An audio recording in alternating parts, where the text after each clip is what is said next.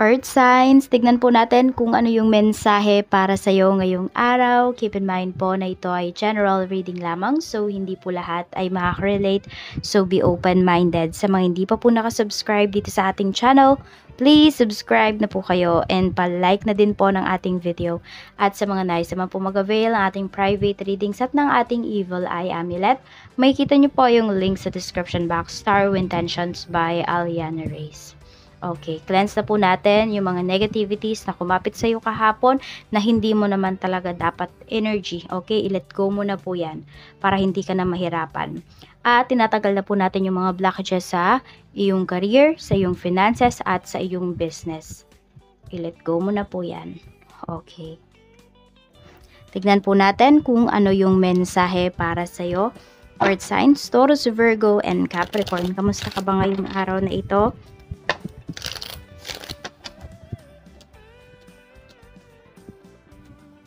We have number 47. So, yung iba po sa inyo nag-overthink kayo. Hindi medyo naguguluhan kayo. Yung iba naman dito, maaaring kasal yung iniisip. Kasal or isang kontrata for some of you. So, nag-overthink talaga kayo dito. Parang in a way, hindi nyo alam kung ano ba yung gagawin po ninyo. But, mm, nandun din na naguguluhan po kayo. So, tignan natin pagdating sa family, we have number 23 and we have number 33 pagdating sa pamilya. Ayan po. So, maaring merong kasunduan dito. Uh, matutupad naman siya. Pwedeng kayo itong mag-asawa. Um, earth signs. Ayan po. Pwedeng merong pag-uusap talaga dito regarding po sa inyong mga uh, pinag I mean, pinag-uusapan sa mga pinangako mo or sa mga pinangako sa iyo ng asawa mo, ng person mo, ayan, or ng family members mo. Okay, so tingnan natin. Basta may pag-uusap kayo dito. Ano naman, nakikita ko naman magsasaksid naman to kung ano man tong mga pinag-usapan po ninyo.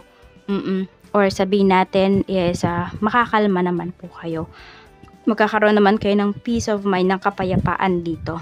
So, pwedeng may mga ngako na naman dito na family members at yung iba sa inyo parang nadala na kayo dun sa pangako ng tao na yon.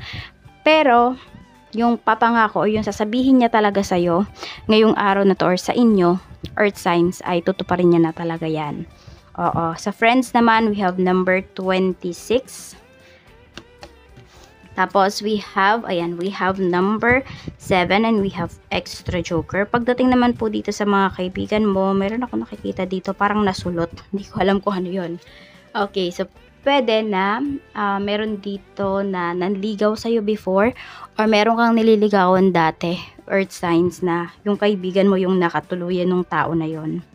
Hindi ko alam eh, basta yan yung nakikita ko dito. So, ayun po, parang nasulot.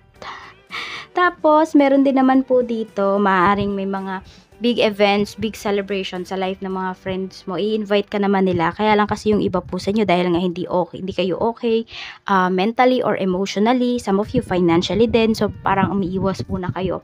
Or siguro yun yung magiging dating pagdating sa mga kaibigan mo na iniiwasan mo sila. But the truth is, meron ka lang naman talagang problema. So, you communicate with your friends, yun yung gawin mo. Huwag mong hayaan na maisip nila na ganito ganyan. Okay? Kaya lang naman nila yung naiisip kasi pwedeng hindi lang naman isang beses kanilang niyaya. Maraming beses na at yun nga, lagi kang tumatanggi. Kaya akala tuloy nila, iniiwasan mo sila. So, the next time, pwedeng makita mo na meron silang mga gatherings tapos alam mo yung parang nasawa na sila, napagod na sila na i-invite ka kasi alam naman nila pag in-invite ka ulit nila, tatanggi ka lang. So, ipaliwanag mo din yung side mo, lalo na kung mahalaga naman sa'yo yung mga tao na ito o yung mga friends mo na to. Ganun kasi tayo minsan eh, ay kaibigan naman niya ako eh, kilala niya ako, ganyan, ganyan. Maiintindihan niya ako kahit hindi ako nagsasalita. 'Di ba minsan ganun tayo, yung parang ayoko nang mag-explain, maintindihan niya naman ako kung, kung kaibigan niya ako. Pero hindi, eh, hindi naman kasi lahat ng tao ganun kalawak yung pag-intindi, hindi ganun, hindi lahat ng tao is uh, mapipick up yung energy na pinapakita mo sa kanila or yung binibigay mo ng energy sa kanila. 'Di ba may mga tao kasi talaga na insensitive. So mas mabuti pa na sabihin mo talaga kung ano yung dahilan, kung may nagyayaman sa dito at kung bakit hindi ka nakakasama. Kaya sabihin pa nila ah, na meron kang pamilya, dapat matuto kang tumanggi, matuto kang magsalita. Tignan natin pagdating naman po sa iyong so sa iyong love life. Sa love life you have number 3. So pwedeng may lilipat ng bahay, merong nagpapagawa ng bahay, mayroon dito masayang bahay. Number 46, pero more on mas nakikita ko dito is yung lilipat ng bahay or magsusulo na po yung iba sa inyo.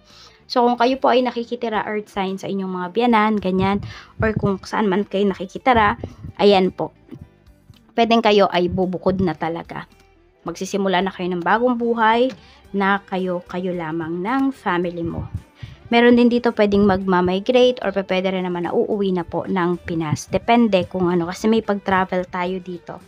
Tingnan po natin pagdating naman sa kaperahan. Sa kaperahan, we have number 4. Ang ganda po ng iyong pera. Pwedeng meron din dito, bibili ng, yun nga, pwedeng bahay talaga. Pwedeng sasakyan, pwedeng cabinet. Ano pa ba yung mga sinususian? Could be vault. Ayan, iba sa inyo, baka bibili kayo ng vault kasi meron kayong mga important documents or mga valuable things po ninyo na, ayan, na inyong, uh, you know, nasa bahay, ganyan. So, kailangan ninyong i-protect. For some of you naman, parang meron talaga kayo, kahit saan kayo mag-travel, lagi kayong may daladalang, alam mo yon yung lagayan ng mga gamit po ninyo para secure talaga siya. So, ayan, marami dito, maingat kayo sa inyong kaperahan. Maingat kayo sa mga valuable things po ninyo. Kasi pwedeng naranasan nyo na, na manakawan, kahit na nasa isang secured village pa yung iba sa inyo, nasa isang secured na uh, na condominium, ano ba, secured na hotel, yan po. Tignan natin or accommodation. Check natin pagdating naman po sa iyong uh, career, sa iyong trabaho. Sa iyong trabaho, we have number 51 and we have number 34. So, medyo may shocking energy daw dito. Shocking news pagdating dito sa trabaho. Okay, shocking news kasi pwede po na mayroon dito magkakasundo. Or sabihin natin, kunwari, dalawang company, alam mo na magkaaway yung company na yon. So, ayun, we have, ayun, parang kunwari, yung dalawang company na to laging magkaaway or yung dalawang co-worker mo na to, alam mo na lagi silang nagkakabangayan, tapos ngayon magkasundong magkasundo. Alam mo parang nabago yung ihip ng hangin. Ayan po, tapos ngayon, pwede yung iba sa inyo, kayo na yung ano, kayo na yung kinokompetensya ng taong to or feeling ng taong to, ikaw na yung kakompetensya niya. So, mag-iingat din po kayo at the same time dito. Hmm. Pero huwag kayong mag-alala kasi nakikita ko rin dito, if meron namang mga pinagkatiwala po sa inyo ng mga accounts, may mga pinagkatiwala sa inyo ng mga trabaho, magagawa nyo po ito ng maayos. Mm-mm. So, sila yung magugulat kasi parang may nananabo tayo sa iyo dito, Earth Signs. always, magugulat na lang yung mga tao na yun na ikaw po ay magtatagumpay. At pagdating naman sa negosyo, kung meron po kayo negosyo, growing talaga yung inyong uh, negosyo dito. Ayan po, So, meron, marami pa kayong dapat i-expect na good things pagdating dito sa inyong negosyo. So, keep it a secret yung mga kailangan talagang itago pagdating sa negosyo. Do not share it with uh, your friends. Do not share it with your uh, family members. Lalo na kung wala naman pong kinalaman sa business. So, ayan, meron pong magpapasaya talaga sa inyong puso. Meron dito mga transactions pagdating sa business niyo nakikita po talaga kayo ng malaki.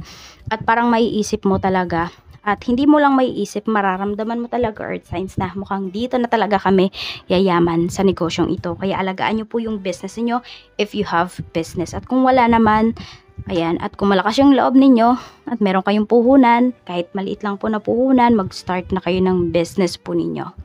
We have number 47, 23, 24, number 2, number 3, and number 43. Ayan po yung inyong mga lucky numbers, earth signs. Maraming maraming salamat po sa walang sawang pagsuporta ninyo dito sa aking channel.